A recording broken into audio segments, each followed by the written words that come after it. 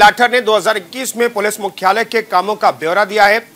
लाठर ने जानकारी देते हुए कहा कि पुलिस मुख्यालय से नियमित तौर पर पर्यवेक्षण कर तिरानवे हज़ार से ज़्यादा लंबित प्रकरणों का निस्तारण किया गया। पुलिस ने 55 करोड़ रुपए की साइबर ठगी की शिकायत दर्ज की। साइबर क्राइम एसओजी ने 12 प्रकरण दर्ज किए। इनमें 46 आरोपियों को गिरफ़्तार कर जेल भेजा गया।